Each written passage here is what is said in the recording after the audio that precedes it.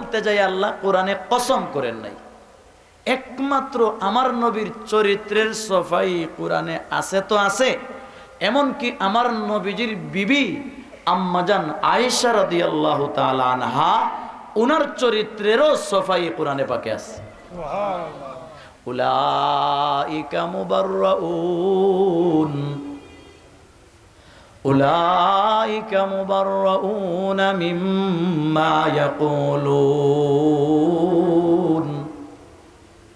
আল্লাহ পাক ডাক দিয়ে বলেন আয়েশা মুনাফিকরা যে সমস্ত তহমত দিছে এই তহমত থেকে আমার নবীর স্ত্রী আয়েশা পবিত্র কোনো দাগ নাই অন্য কোন নবীর স্ত্রীর ব্যাপারে সাফাই নাই নবীর ব্যাপারেও সাফাই নাই কিন্তু আমার নবীর চরিত্রের ব্যাপারেও সাফাই আছে, আমার নবীজির চরিত্র বয়ান করতে যায় কসম আছে, আমার নবীজির বিবিরও চরিত্রের ব্যাপারে কোরআনে পাকে সফাই আছে। ইউসুফ নবীর সফাই, ইউসুফ নবীকে জুলাইখায় তোহমত দিছে। জুলাইখা ইউসুফ নবীকে তোহমত দিছে যে বাদশাহ আজিজে মিশর এমন একটা দাস, এমন একটা গুলাম দিলা যে গুলামে, যেই দাসে তোমার বউর উপর হাত তুলছে। তোমার বউর দিকে হাত বাড়াইছে। আজিজে মিশর বাদশাহ, আজিজে মিশর বাদশাহ। তিনি বললেন, তোমার, তুমি যে বললা, ইউসুফ তোমার উপর হাত তুলছে, প্রমাণ কি? জুলেখা প্রমাণ হিসেবে পেশ করছে, জুলেখার দাসী। জুলেখার খাদিমা, খাদিমাকে পেশ করছে। এখন মুনিবে সাক্ষী হিসাবে পেশ করছে দাসী তো আর মিথ্যা কথা বলতে পারে না। দাসী তো আর মালিকের উল্টা বলতে পারে না। দাসী বলে জি হ্যাঁ ইউসুফ হাত উঠাইছে। বাদশাহ ইউসুফ নবীরে জিজ্ঞাসা করে ইউসুফ তোমার ব্যাপারটা তুমি বলো।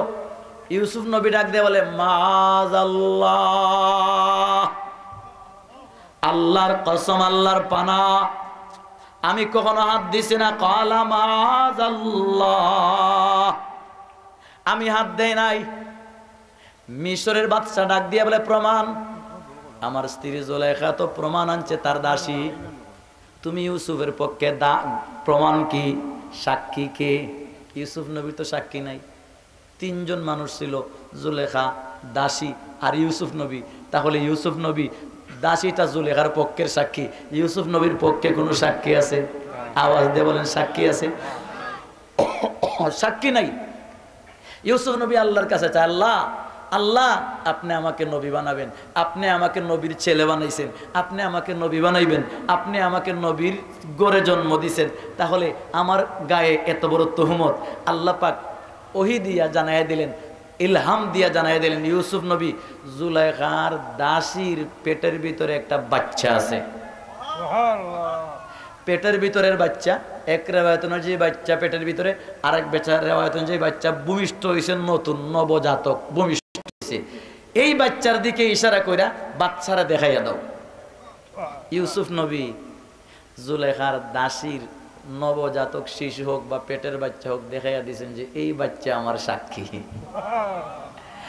আজি যে মিশর কয়, বাটফারি জায়গা পাও না। কাজ করছ করছ, আবার মস্কারি করো। এই বাচ্চাই কি কথা কব এই বাচ্চাই কি কথা জানে? ইউসুফ নবী ডাক দিয়া বলে, জিজ্ঞাসা করুন। বাদশাহ সাহেব একটু জিজ্ঞাসা করুন। বাদশাহ তার দিকে তাকায় না। ইউসুফ নবী ডাক দিয়ে বলেন, বাচ্চা, কথা বলো। বাচ্চা আশি বৎসর দাদার মতন বৈশা আরবিতে বাসন শুরু করে দিছে। বাসন দিয়ে বলে, আজিজে মিশর, আমার মায়ও মিথ্যা বলছে জুলেখাও মিথ্যা বলছে। আমি আপনাদেরকে বুঝাইতে চাইছি একটা কথা। দেখেন, ইউসুফ নবী নবী হওয়ার পরেও উনার পক্ষে সাক্ষী দিছে দাসে, দাসের গড় দাস। বান্দির গড়ের দাসে সাক্ষী দিছে। যদিও ছোট বাচ্চা, কিন্তু দাসের গড় দাসে, ইউসুফ নবীর পক্ষে সাক্ষী দিছে। কিন্তু আমার নবীর কথা অনেক উপরে, নবীর স্ত্রী আম্মাজান আয়সারদি আল্লাহ আনহা, উনাকে যখন আবদুল্লাহ ইবনে উবাই ইবনে সালুল, আবদুল্লাহ ইবনে উবাই ইবনে সালুল, মুনাফিকের সর্দার যখন বলছে সাহাবি সুফওয়ান ইবনে মুআত্তলের সাথে উম্মুল মুমিনিন আয়েশার নাউজুবিল্লাহ আকাম হইছে। নাউজুবিল্লাহ আরও জোরে বলেন নাউজুবিল্লাহ এই কথা যখন বলছে, আমার নবী তো পেরেশান, আম্মা যেন আয়েশাও পেরেশান, মুসলমানরাও পেরেশান। শেষ পর্যন্ত অনেক লম্বা ঘটনা। শেষ পর্যন্ত আম্মাজান আয়েশার পক্ষে সফাই, আয়েশার পক্ষের সফাই, আল্লাহ কোনো দাস দিয়া দিছে না। আয়েশার পক্ষের সফাই কোনো গাছ দিয়া দেওয়াই নাই। আয়েশার পক্ষের সফাই কোনো ছাগল দিয়া দেওয়াই নাই। আয়েশার পক্ষের সফাই কোনো গরু দিয়া করাইছে না। ইউসুফ নবী, নবীর পক্ষের সফাই দাসের গরো দাস দিয়ে আল্লাহ করাইছে। আর আমার নবীর বিবির চরিত্রের সফাই দুনিয়ার কোনো মখলুকাত না, স্বয়ং আরসের মালিক নিজের কুদরতি জিব্বা দিয়ে আয়েশার সফাই গায়। আমার নবীর চরিত্রের সাথে আয়েশার সম্পর্ক আছে। আমার নবীর, কারণ আয়েশা যদি, আয়েশা রাদি আল্লাহ আনহা যদি এই ধরনের অসৎ চরিত্রবান হন, তাহলে আয়েশা রাদি আল্লাহ আনহার স্বামী হলেন আমার নবী। কোরআনে বাকি আছে, আল খাবিসাতুল খাবিসিন। الخبيثات للخبيثين والخبيثون للخبيثات والطيبات للطيبين والطيبون للطيبات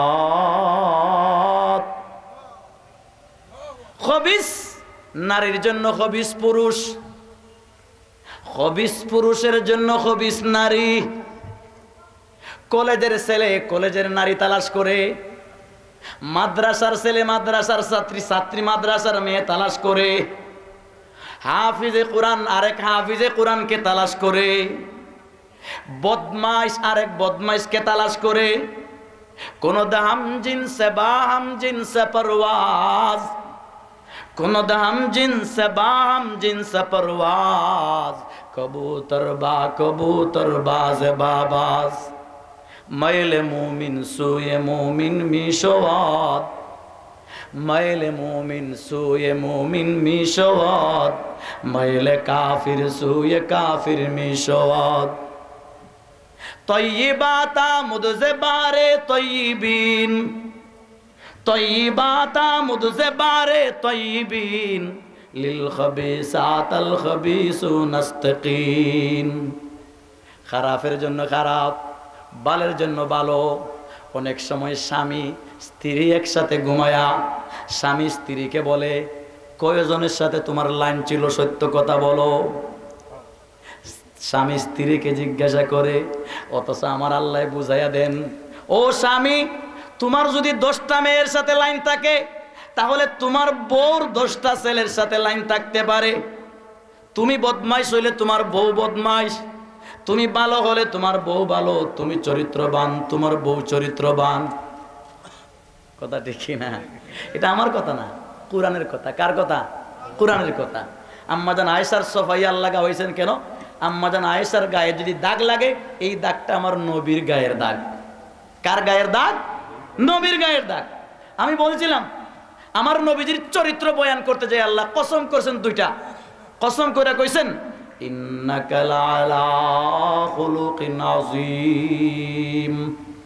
আমার নবী, আমি আল্লাহ আপনাকে এমন একটা চরিত্র দিয়ে বানাইলাম, যেই চরিত্রটা হলো আজিম যেই চরিত্রটা আজিম আজিম মানে বড় আজিম মানে বৃহৎ আজিম মানে বিশাল। আমার যেহেতু অসুস্থ শরীর, তো আমি এই কথাটার এই কথাটার আলোচনা সংক্ষেপে করব। আল্লাহ আমার নবীর সানে আজিম শব্দ ব্যবহার করছেন। পুরাণে পাক কুল্লা দেখেন। আমার নবীর চরিত্রকে আল্লাহ আজিম বলছেন। কোরআনে পাক কুল্লা দেখেন, আসমান জমিন কুল কায়নাত মিলাইয়া আসমান জমিনকে আল্লাহ আজিম বলছেন না। আসমান জমিনের সানে আল্লাহ বলছেন, কলিল শব্দ। কি বলছেন?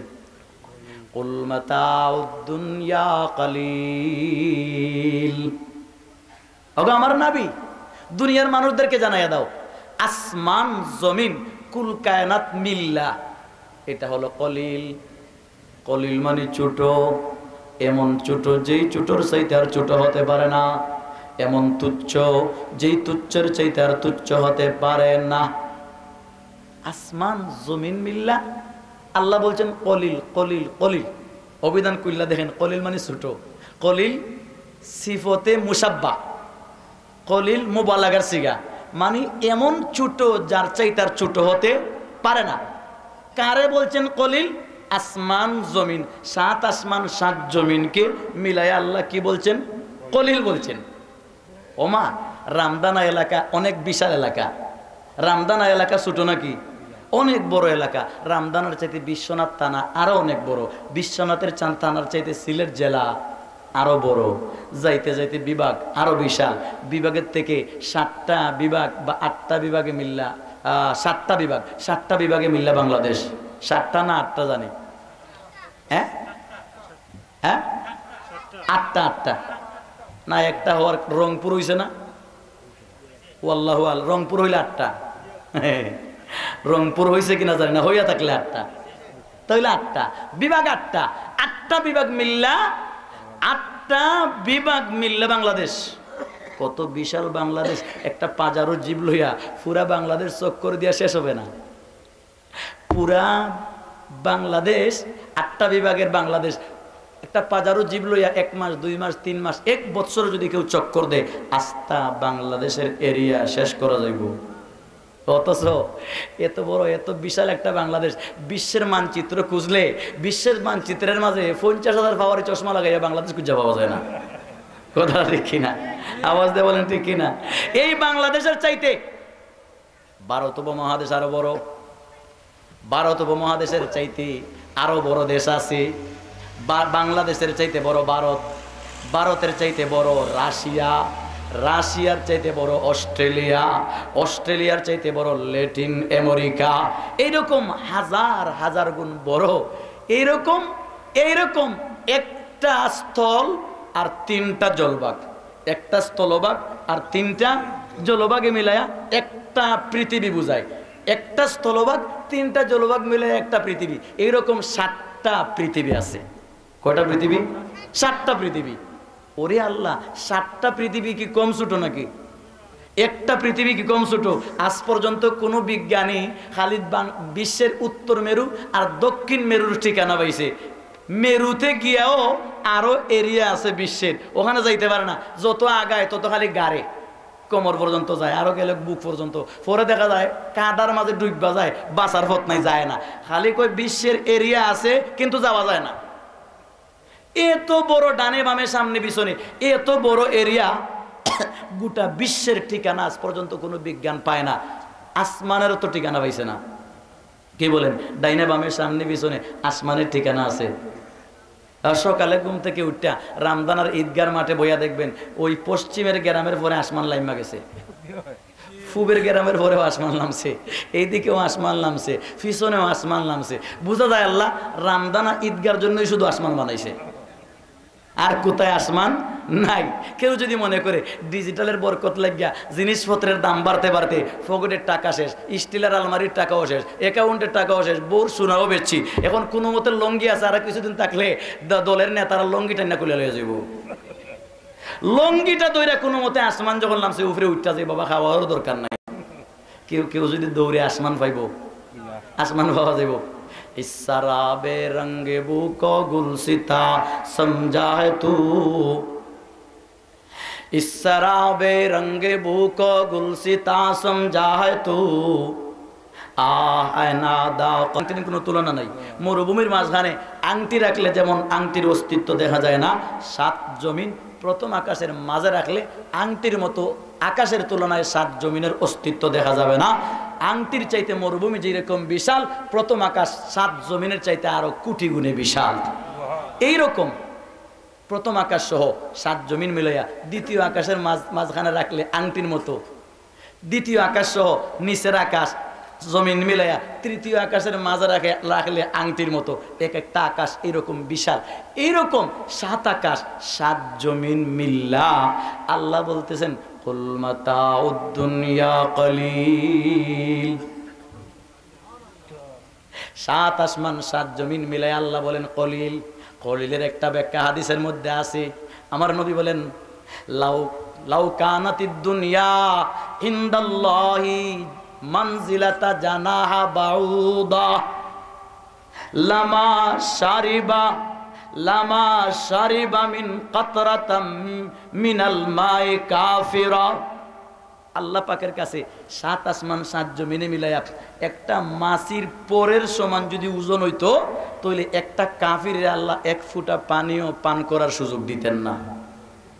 এই হাদিসটায় কি বুঝাইলো? সাত আসমান, সাত জমিন, আল্লাহর কাছে একটা মাসির পরেরও সমান।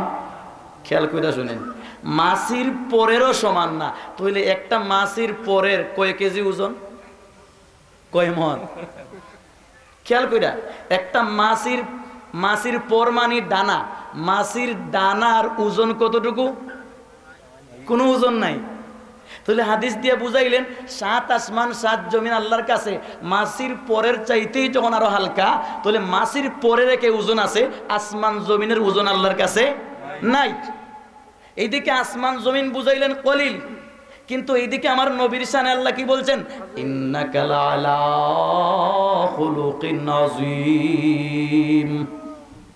আল্লাহ আকবর বলেন। আরও জুড়ে বলেন, আল্লাহ আকবার। আসমান জমিন মিলায়া আমার আল্লাহ বলেন, মাসির পরের চাইতে আরও কম। কিন্তু আমার নবীর আখলাক, আমার নবীর চরিত্রের ব্যাপারে আল্লাহ শব্দ আনছেন আজিম। কি শব্দ আনছেন? কি শব্দ আনছেন? আজিম। আজিম মানে বিশাল। আজিম মানে কি? আজিম মানে বৃহৎ, আজিম মানে মহান, আজিম মানে বড়। আজিমের একটা অর্থ আছে বিশাল। আমার নবীর চরিত্রকে আল্লাহ বিশাল বলছেন, কিন্তু কত বিশাল? কত বিশাল? এটার কিন্তু এরিয়া দেন নাই। জমিনের এরিয়ার কথা বয়ান করে কইছেন, কলিল, মাসির পরের চাইতে হালকা, কিন্তু আমার নবীর চরিত্র আমার নবীর চরিত্র আল্লাহ আজিম বলছেন, আবার আজিম কত, আজিম মানে বিশাল। আজিম মানে বিশাল। এই টেবিলটা বড় আর বিশালের তুলনামূলক। মনে করেন এই যে মাইকের স্ট্যান্ডের চাইতে টেবিল বড়, টেবিলের চাইতে স্টেজ বড়, স্টেজের চাইতে ঈদগা বড় ঈদগার চাইতে রামদানা এলাকা বড়, এলাকার চাইতে বাংলাদেশ বড়, বাং, বড়র তো শেষ নাই। তাহলে আল্লাহ বলেন, আমার নবীর চরিত্র বিশাল। কত বিশাল? কত বড়? কি বাংলাদেশের সমান? পৃথিবীর সমান? সাত জমিনের সমান? সাত আকাশের সমান? আহা! আমার আল্লাহ ডাক দিয়ে বললেন, আসমান জমিন মিলাইয়া আমি আল্লাহর কাছে কলিল কলিল, এমন ছোট, যেই ছোটর চাই তার ছোট হতে পারে না। কিন্তু আমার হাবিবের আখলাক, আমার হাবিবের চরিত্র, আমার নবীর চরিত্র এমন বিশাল, যে বিশালের চাইতে আর বিশাল হতে পারে না। এর মানে আমার নবীর চরিত্র এক পাল্লায়, আসমান জমিন আরেক পাল্লায় তুললে হবে। আসমান জমিন তুলে মাসির ফোর মাসির ফোরের কি কোনো ওজন আছে? তাহলে এইটাই বুঝাইয়া দিছেন যে আমার নবীর চরিত্র গোটা আসমান, গোটা জমিন, কুল কায়নাতের অস্ত্র, গুলা, বারুদ, রাষ্ট্রপ্রধান, প্রেসিডেন্ট, আমেরিকা, লন্ডন, জার্মান, জাপানে মিলাইয়া যত শক্তি আছে, তার চাইতে আমার রসুলের একটা সুন্নতের পাওয়ার আটো কোটি গুণে বেশি।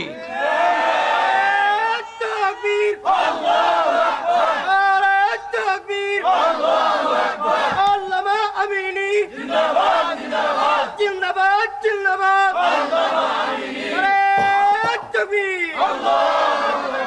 ভাই, কি বুঝলেন? আমার নবীর চরিত্রের পাওয়ার আছে না নাই? আওয়াজ দিয়ে বলেন পাওয়ার আছে না নাই? এই পাওয়ার আছে বিদায়, শেখে কাতিয়া আমার নানাজি। এই পাওয়ার অন্তরের ভিতরে আছে বিদায়, শেখে কাতিয়া পুলিশ ধরাইছে না। এই পাওয়ার আছে বিদায়। শেখে কাতিয়া আর্মি ডরাইছে না। এই পাওয়ার আছে বিদায়। শেখে কাতিয়া ঢাকায় যায়া দায়ুসনি কয়া গাইল দিছে, রাষ্ট্রের প্রধানকে কোনোদিন ডরাইছে না, ঠিক কিরা আওয়াজ দেয়া বলে তাওবান জিন্দাবাদ। জিন্দাবাদ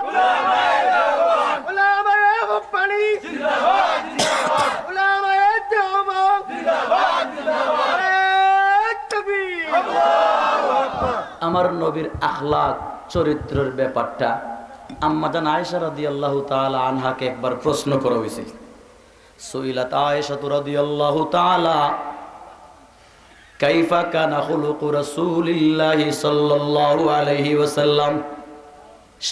তিরমিজি শরীফের আছে। আমার নবীজির চরিত্র কেমন ছিল? আয় আয়েশা, আম্মাজান আয়েশা। তিনি জবাব দিয়েছেন কানা খুলুকুহু আল কুরআন আমার নবীজির চরিত্র ছিল ত্রিশ পারা আওয়াজ দিয়া বলেন, আওয়াজ দিয়া বলেন ত্রিশ পারা কোরআন ছিল আমার নবীর চরিত্র। আমার নবীজির চরিত্র ছিল ত্রিশ পারা কোরআন।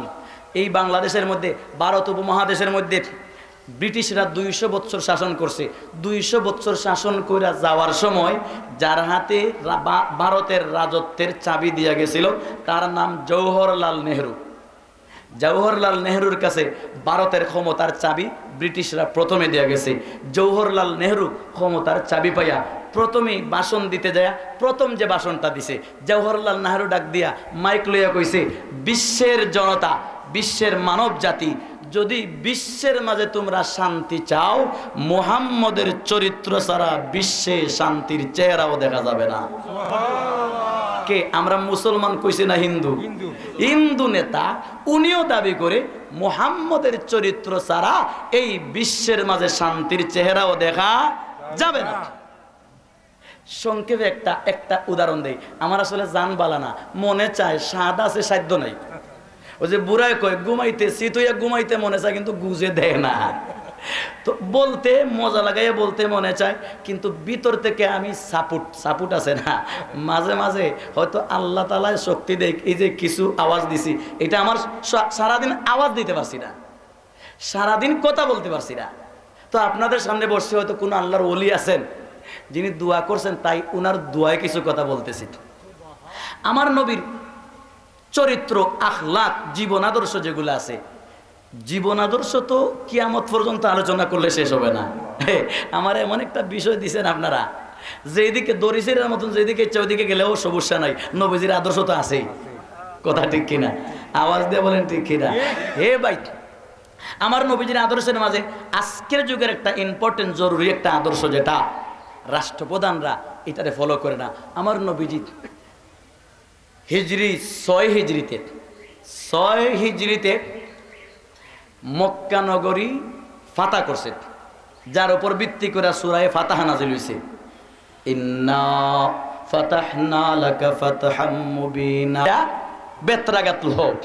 আমার নবী চাইলে কি এটা করতে পারতেন না? আওয়াজ দিয়ে বলেন, পারতেন না। আমার নবী আমার নবীর ডান দিকের মানুষদেরকে আঘাত করছে, বাম দিকের মানুষরা আঘাত করছে, সামনের দিকের মানুষরা আঘাত করছে, পিছনের মানুষকে আঘাত করছে, আমার নবীজির মাথায় আঘাত করছে, আমার নবীজির মাথা মোবারক, কর দিয়া কর দিয়া ময়দানে ওহদ মে মুস্তফা দান্দা শহীদ।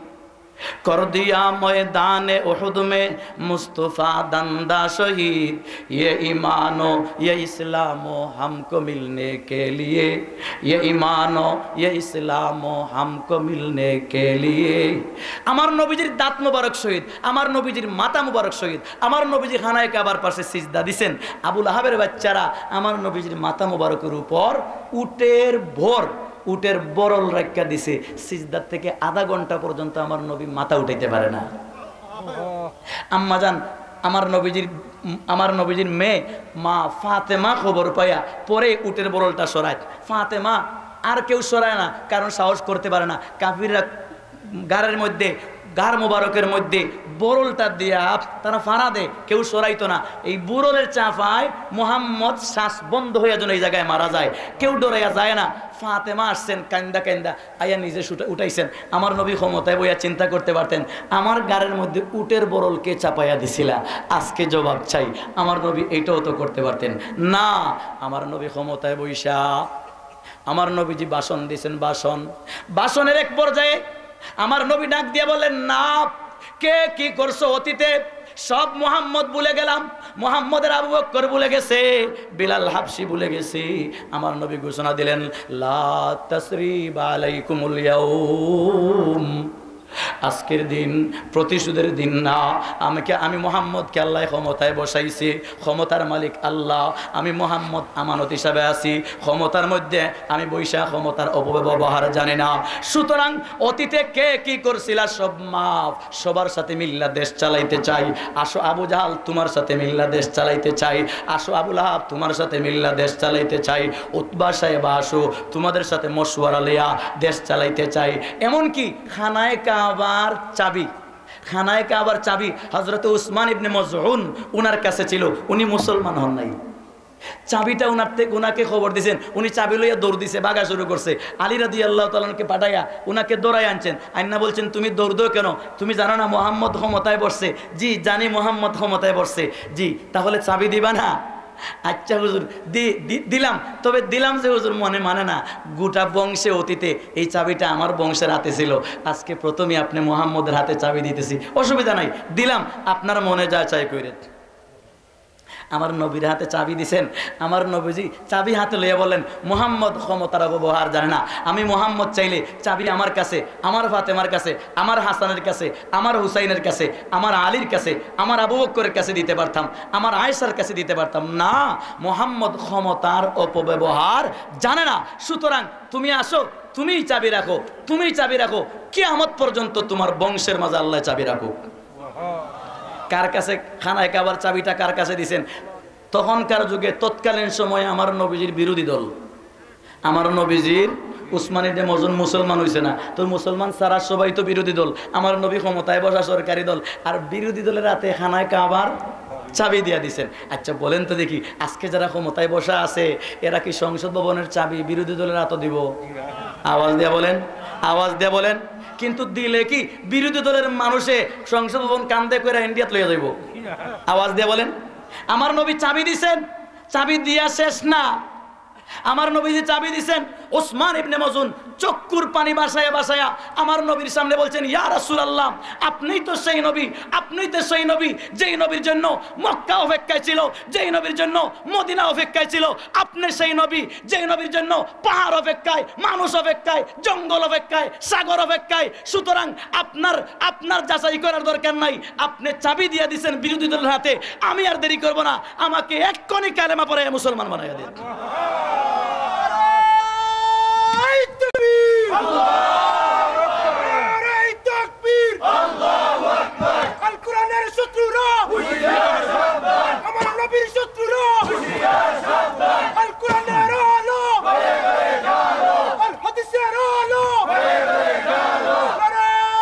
এই তাকবীর ভাই আজকালকে আমার রসুলের এই সুন্নতটা, এই আদর্শটা যদি রাষ্ট্রপ্রধানরা মানত, তাহলে বাংলাদেশ আজকে গরিব দেশ না, ইংল্যান্ডের খ্রিস্টানরা বাংলাদেশের মানুষের বাইরে বাইরে চাকরি করা লাগতো। ইংল্যান্ডের খ্রিস্টানরা ইসা আমার দেশে চাকরি করত। কারণ তারা আমার দেশের সম্পদ লইয়া তারা নাচানাচি করে, তারা বেটাগিরি করে। আর আমার দেশের মাঝে আমরা ক্ষমতায় বইয়া যার যা ইচ্ছা, যার যা মনে চায়, তাই করে। হে ভাই, আমার রসুলের ক্ষমতায় বইসা, কি করছেন? অতীতের সব সব কিছু, সব অপরাধকে আমার নবী মাফ করে দিয়েছেন আর বলছেন, লা তাসরিবা, কোনো প্রতিশোধ নাই, কোনো প্রতিশোধ নাই। আসো, সবাই মিল্লা, যা হইবার হইছে। আমার সাহাবি দুই, চারজন মারা গেলে এরারা জিন্দা করা যাবে না। এরারা জিতা করা যাবে না। গেছে গেছে। আসো, আমরা যারা আসি সবাই মিল্লা দেশ চালাই। আজকে যদি রাষ্ট্রপ্রধানরা এরকম করতো, আসলে কি এরকম আছে? গত পাঁচ বছর যারা ছিল, এখন নতুন যারা এরা হিসাব করে গত পাঁচ বছর আমার দলের কয়জন মারা গেছিল? হিসাব কইরা এরা দশজন হইলে এবার যেন ত্রিশ জন মারা যায়। ক্রস ফায়ার দশটা হইলে এখন যেন ত্রিশটা ক্রস ফায়ার হয়। আগে যদি গুম দশটা হয়, এখন যেন ত্রিশটা গুম হয়। হইতে হইতে ইলিয়াস আলী ভাই যেন গুম হইয়া যায়। কথাটা ঠিক কিনা? আওয়াজ দিয়ে বলেন ঠিক কিনা? এতে কি দেশ শান্তি হবে না আর অশান্তি হবে? আওয়াজ দিয়ে বলেন, অশান্তি হবে অশান্তি হবে না শান্ত হবে? অশান্তি হবে। হে ভাই, এইরকম যদি বাড়তে থাকে, তা আজকে হয়েছে তিরিশ জন গুম। আগামী বছর, আগামী পাঁচ বছর হইব তিনশো, আয়ের পর হইব তিন হাজার। গুড়াই গাড়াইয়া যারা গুম হয়, যারা মরে, এরা খ্রিস্টান মরে। হিন্দু মরে। এটা আমার ভাই মরতেছে, মুসলমান মরতেছে। কিন্তু আমি আর আপনি তো বুঝি না। হে ভাই, সুতরাং এই যে রাসুলের এই ছোট্ট একটা আদর্শ আছে, ছোট্ট একটা আখলাক আছে, এইটা যদি মানতে পারতাম আজকে এক একটা দেশ স্মরণের দেশ হয়ে যেত, দামি দেশ হয়ে যেত। আল্লাহর বান্দা, আমার নবীর আদর্শ, আমার নবীর আদর্শের আরেকটা নাম সুন্নত। আমার নবীর আদর্শের আরেকটা নাম কি? সুন্নত। সুন্নত যারা পালন করে, এরা সায়েন্সের ডিগ্রি লওয়া লাগবে না। সুন্নত পালন করার মাধ্যমে পৃথিবীর সব সায়েন্স সুন্নতের পালন করার মাধ্যমে সে অর্জন করতেছে। ছোট্ট একটা কথা খেয়াল করেন। আজকে অসুস্থ অবস্থায় আমি আমার সামর্থ্য ছাড়াই বয়ান করতেছি। আমি জানি না বুঝাইতে পারতেছি কিনা আমার কথাগুলা। আমার ভিতর থেকে কথাগুলা বোঝানোর চেষ্টা করতেছি, আপনারা কি বুঝতেছেন? ইসলাম আমার বিশ্বের মাঝে বলে রাক্ষর জাতি থাকলে কে আছে? মুসলমান। পত্রিকায় দেখলাম দেখে মনে বড় ব্যথা লাগছে। এই পত্রিকাটার অংশটা কাট করে আমার কাছে রাখছি। আমি লিখকেও রাখছি। কেন? যুক্তি দিছে যে মুসলমানরা প্লেটে বাদ দিলে খানা দিলে প্লেটের বাদ তো খায় খানা তো খায় খায়। এরপরে প্লেটে সাজতে সাজতে বারোটা বাজায়। প্লেটে সাজতে সাজতে বারোটা বাজায়। আমি আজকে গল্পের মতন বয়ান করতেছি। আপনারা কি কষ্ট হইতেছে? ভাই কষ্ট হইতেছে? মুসলমানরা প্লেটকে প্লেটে খানা দিলে খানা তো খায়, এরপরে প্লেটে সাজতে সাজতে প্লেটের বারোটা বাজে। এই কারণে মুসলমান রাক্ষস। আসলে প্লেট সাচ্চা খায় না চাটিয়া খায়। চাটিয়া চাটিয়া, চাটা একটা আর চাষা আর একটা বেশ কম আছে। চাষা মানে যে কোনো প্লেটের উপরি বা গ্রেট বেলেট দিয়া সাচ্চা তুলা। এটারে কয় চাষা এই ঈদগার ময়দানকে কোনো জিনিস যদি সাচ্চা গেউর তুলার নাম হইল চাষা আর আরেকটা হলো জারও দিয়া ময়লা নিলেন, এটারে বলা যাইতে পারে চাটা, এর বেশি কিছু না। তাহলে প্লেট চাষিয়া খায় না চাটিয়া খায়? এটা আমার নবীর সুন্নত। তিন মেজি শরীফের কিতাবুল আতএমার মাঝে আছে আম্মাজান আয়েশা আল্লাহ তাআলা আনহা, উনি একবার বলছিলেন সাহাবাই কেরামদেরকে সম্বোধন করি, আমার বন্ধু সাহাবীরা, এক হাজার প্লেট আমার কাছে যদি আসে, খাবার খাওয়ার পরে এক হাজার প্লেট আমার কাছে আসে তাহলে কোন প্লেটে আমার কলিজার টুকরা প্রাণের স্বামী মুহাম্মদে পানাহার করছেন? আমি আয়সা বলতে পারি।